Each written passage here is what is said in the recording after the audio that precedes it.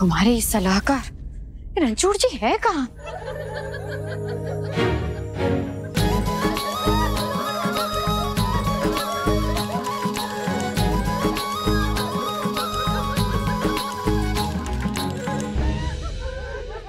रणछोड़ जी?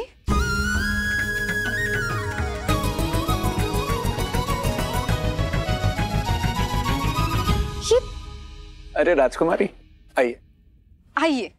हम यहाँ इतनी बड़ी दुविधा में फंसे और आप आप हमारे सलाहकार हैं।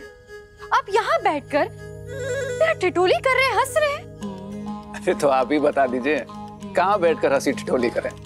आप कहीं नहीं। हम संकट में हैं इतनी बड़ी दुविधा में फंसे हैं। सम्राट सिंह वापस आ गए हैं नायक की चिकित्सक ध्रुव है हम ये सिद्ध नहीं कर पा रहे और आप आप बताइए। क्या ऐसे में यहाँ या कहीं पर भी बैठकर आपका हँसी ठिठोली करना उचित है? क्षमा कीजिए राजकुमारी जी। हम गोपियों के साथ ये चर्चा कर रहे थे कि जन्माष्टमी के दिन रसोई में पक क्या रहा है। हाँ और उसी कड़ी में एक बार हमने उन्हें बताया कि माखन चुरा कर खाते हम पकड़े गए थे। बस उसी में हँसी रिठोली निकल गई। रणछोड़ जी पहली बात ये गोपियाँ नहीं दासियाँ हैं।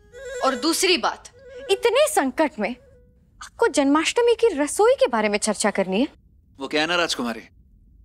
संयोग से हमारा जन्मदिन भी जन्माष्टमी के दिन ही होता है। बस एक बार ये पता चल जाए कि जन्माष्टमी के दिन रसोई में पक क्या रहा है। पूड़ी हलवा खीर। बस उसके बाद निश्चिंत होकर आपकी चिंता पर विचार विमर्श करेंगे। आप तो ऐसे बोल रहे हैं जैसे आपको ज्ञात नहीं। कान्हा जी को हम त्याग चुके हैं। जानते हैं ना आप? सादा भोजन बनेगा, कोई भोग नहीं।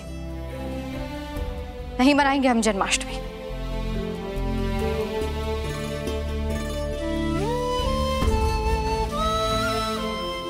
अब उनके लिए इससे बड़ा दंड तो नहीं हो सकता।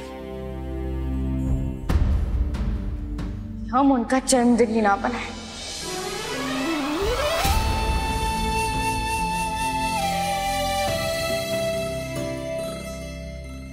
ये क्या कह रही हैं राजकुमारी आप? कृष्ण जी के प्रति आपका प्रेम तो हम सिद्ध कर चुके हैं। इनके बनाए हुए लड्डू एक पलड़े में रखते हैं और दूसरे पलड़े में तुलसी पत्र। अभी दूध का दूध और पानी का पानी हो जाएगा।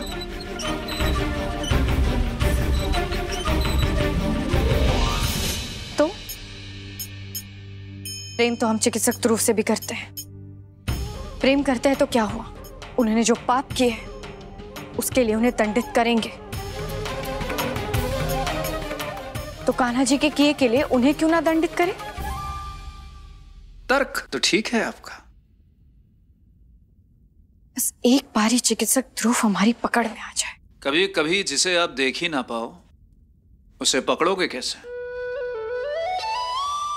प्रेम भी ऐसा ही होता है। अर्थात नायक ही चिकित्सक ध्रुव है। ये हमें सिद्ध करना होगा। रणछोड़ जी आप सोच समझ के भले ही हमें सुझाव ना दे परंतु तो आप अनजाने अनजाने में बहुत अच्छी बात कह जाते हैं कभी कभी अद्भुत! कर देते हैं कुछ कुछ अनजाने में। बस कभी घमंड नहीं किया। नायक ही चिकित्सक ध्रुव है। इस बात का तो हमें पूरा विश्वास है। और रही बात दिखने और देख पाने की तो हम उन्हें कुछ ऐसा दिखाएँगे, जो वो कभी ना देखना चाहते हो। और उसी में उनका सच हमें साफ़ साफ़ दिखाई देगा। पर ऐसा क्या दिखाने वाली है आप उन्हें?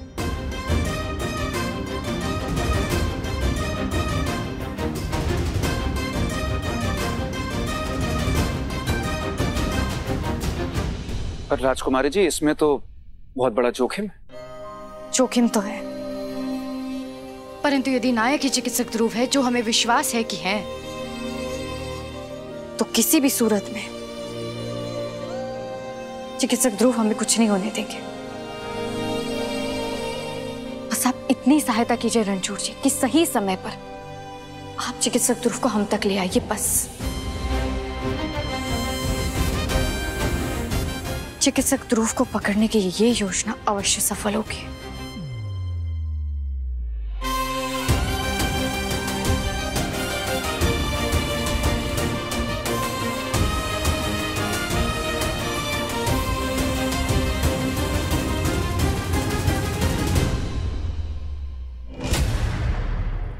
यदि आप हमारे साथ नहीं होती, हमारे लिए यहाँ तक पहुँचना संभव था।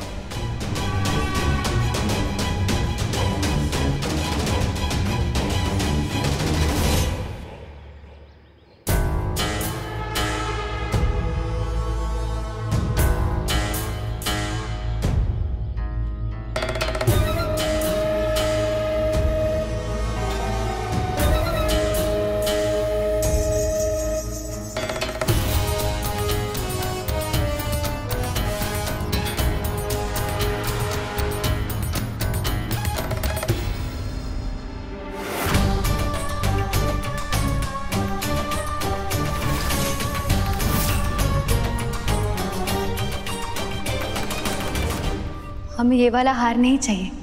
सेनापति सम्राट सिंह तो हमें बताइए आपको कैसा हार चाहिए? हम आपके लिए उपस्थित कर देंगे।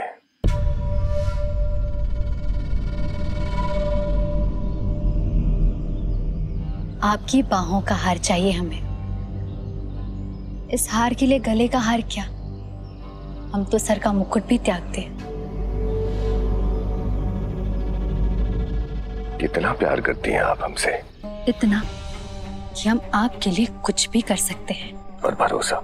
इतना कि वल्लभगढ़ की सत्ता पाने के लिए यदि आपको राजकुमारी तारा प्रिया से विवाह भी करना पड़े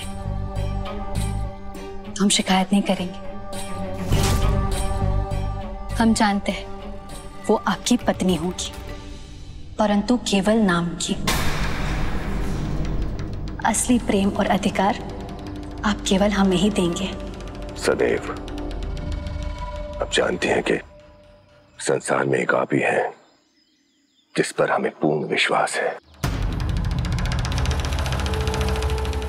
इसलिए हम आपके पास आए हैं। हमें आपसे एक सहायता चाहिए। बोलिए। हमने उस चिकित्सक ध्रुव के पिता का अपहरण कर लिया है।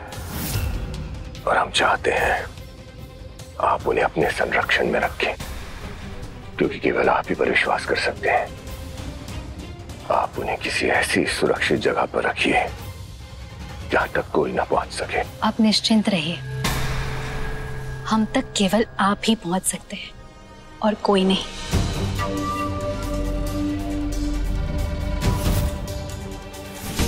क्योंकि राजकुमारी जी हमने राजमहल की सहायता से युवराज महावीर को आने में वो औषधियाँ और जड़ी बूटियाँ दी थी। जिनकी वजह से उनको मस्तिष्क में वो गांठ उत्पन्न हुई समस्त वल्लभगढ़ वासियों को सूचित किया जाता है कि सम्राट सिंह अब इस राज्य के सेनापति नहीं हैं।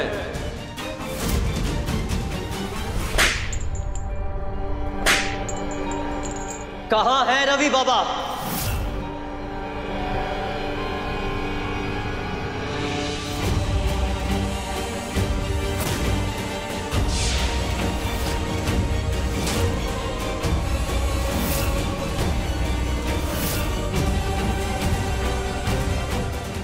आपको इस स्थिति में नहीं देख सकते। उस बूढ़े रवि बाबा के प्राण ले लेंगे हम। नहीं। नहीं तिलोत्मा अपने क्रोध को सही दिशा दो। तिलोत्मा तुमने हमसे कहा था कि तुम हमसे इतना प्रेम करती हो कि हमारे लिए कुछ भी कर सकती हो। आपके लिए हर जोखिम को उठाने के लिए तैयार है हम। आपको उस महावीर से विवाह करना होगा। हम कैसे मान ले ये स्त्री चरित्रहीन और अपवित्र नहीं है? हम मर जाएँगे। परंतु इसे कभी स्वीकार नहीं करेंगे। आप अगर हमारे स्थान पर होते तो आप क्या करते इससे विवाह? अपनाते इसे? यदि हमारी मांग में सिंदूर नहीं भरा जा सकता तो हमें जीने का कोई अधिकार नहीं है।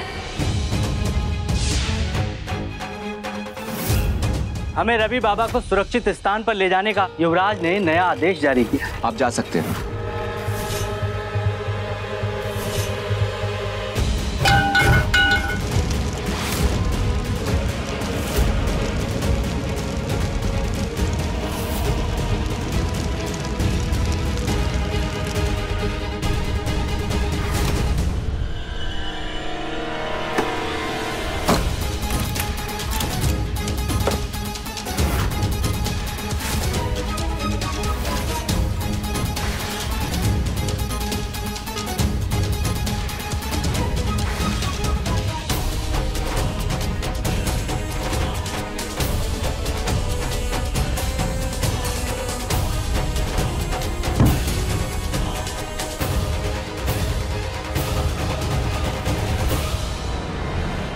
राजकुमारी तारा प्रिया के स्वयंवर में सम्मिलित होने का समय आ चुका है। राजकुमारी के स्वयंवर में प्रवेश होने का आधिकारिक निमंत्रण पत्र है।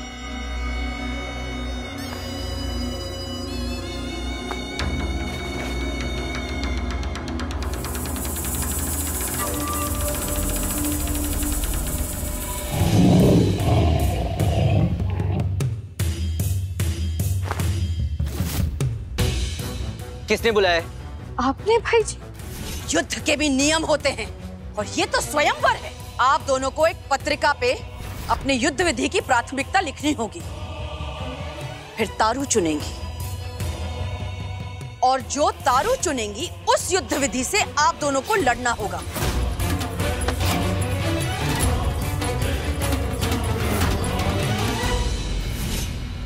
हम आपके साथ यहाँ जितने खुश हैं उतना ही राज परिवार परेशान और विचलित।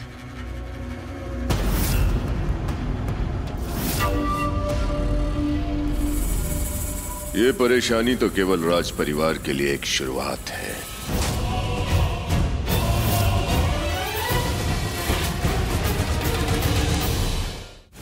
कान्हा जी सम्राट सिंह वापस आ गया है। और कोई ना कोई प्लानिंग के साथ तो वो ज़रूर आया होगा। उसके दिमाग में क्या चल रहा है? उसका क्या गेम प्लान है?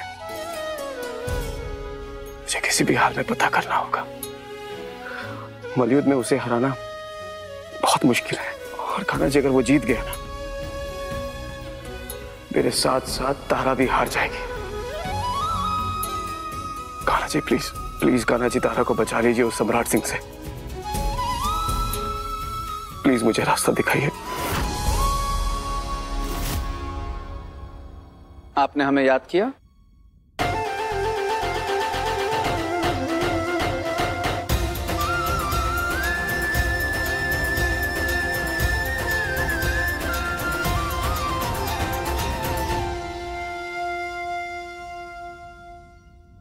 हमें कोई कार्य नहीं है जो यहाँ बैठकर हम आपको याद करेंगे।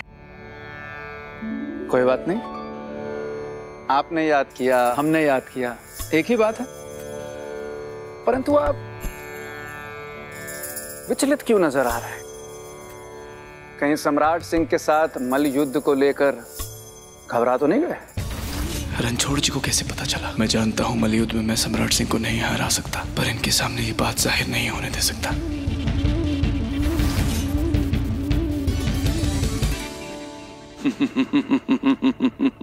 जिससे मृत्यु घबराए वो मृत्यु से भला क्यों घबराएगा? हम भी ये देखने के लिए उत्सुक हैं कि आप दोनों में युद्ध जीतता कौन है।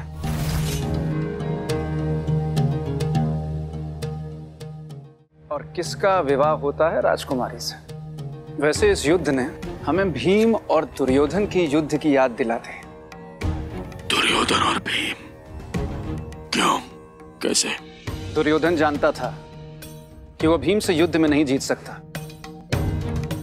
और दुर्योधन की माँ गांधारी, उनको एक शक्ति प्राप्त थी। अगर वो दुर्योधन को नग्न अवस्था में देखते तो उसका पूरा शरीर और शरीर का एक एक अंग महाशक्तिशाली और अपराजय हो जाता। उन्होंने दुर्योधन को निर्वस्त्र आने को कहा। दुर्योधन निर्वस्त्र होकर जाने की तैयारी कर रहा था। तभी श्री कृष्ण प्रकट हुए। उन्होंने दुर्योधन को सुझाव दिया। कि तुम्हारा किसी भी स्त्री और अपनी माता के सामने नग्न अवस्था में जाना उचित नहीं है। उन्होंने कहा, एक उपाय है, जिससे मर्यादा भी रह जाए और माँ की आज्ञा की अवहेलना भी ना हो। माँ गांधारी ने तुम्हें निर्वस्त्र होकर आने को कहा है तो तुम केले के पत्ते पहन कर जाओ। दुर्योधन को यह सुझाव अच्छा लगा। वो माँ गांधारी के पास गया और उसका पूरा शरीर बस केले के पत्ते के भाग को छोड़कर अपराजित हो गया। युद्ध आरंभ हुआ। भीम का एक भी वार दुर्योधन पर बेअसर था, क्योंकि उसे माँ गांधारी की शक्ति प्राप्त थी। तभी श्री कृष्ण ने दुर्योधन की जान की तरफ़ इशारा किया कि तुम उसे यहाँ मारो, क्योंकि यही वो हिस्सा है जो केले के पत्ते से ढका हुआ था, और वो अभी नश्वर है। भीम ने वही किया और दुर्योधन की हार हुई। और तब जाकर युद्ध समाप्त हुआ। ये कथा तो हमें ज्ञात थी पता थी तो बता देते। हमारा समय तो व्यर्थ ना होता। अब आप हमारा बिना समय व्यर्थ किए। ये बताइए कि ये जो आपने कथा सुनाई है उसके पीछे आपका क्या कारण था? हम बस इतना समझाना चाह रहे हैं कि कभी कभी शत्रु को हराना हो तो केवल शक्ति ही नहीं युक्ति का भी प्रयोग करना पड़ता है।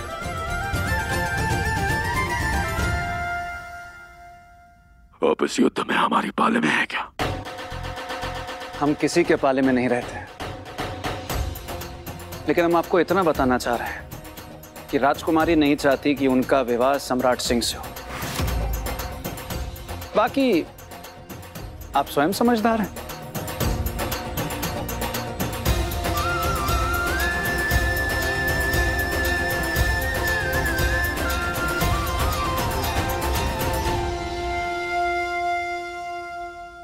इन्होंने जो बात कही है, उसमें पॉइंट तो है। उसे किसी न किसी झांसे में तो लाना होगा। उसे मैं अपनी ताकत से हरा नहीं पाऊँगा। लेकिन उसे हराने के लिए मुझे अपनी बुद्धि का प्रयोग करना होगा। रणछोड़ जी की बातों ने बहुत अच्छा उपाय सुझा दिया हमें। अब इस नायक का सच हम पता करके रहेंगे। कहाँ होगा सम्राट सिंह? मुझे किसी भी हाल में उससे मिलना होगा। बस एक विनती है आपसे। राजकुमारी तारा प्रिया के स्वयंवर को जीतने से पहले हम चाहते हैं कि आप हमारी मांग में सिंदूर भर के हमें अपनी अर्धांगिनी स्वीकार करे।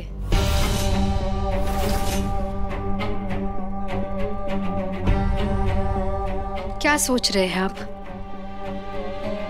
कहीं आपको राजकुमारी तारा प्रिया हमसे ज़्यादा पसंद तो नहीं आ गई?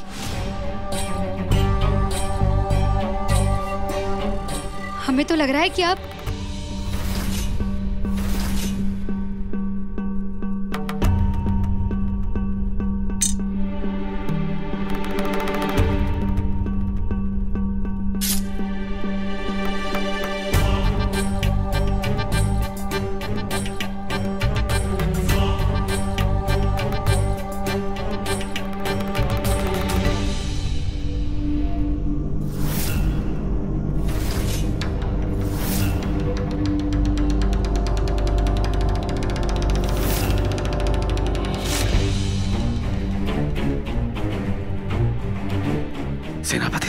किससे बात कर रहा है? आज से आप हमारी अर्धांगिनी हैं।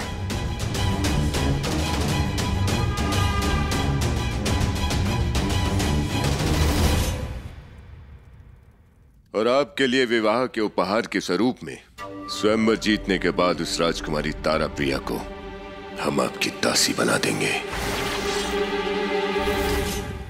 ये किसको दासी बनाने की बात हो रही है?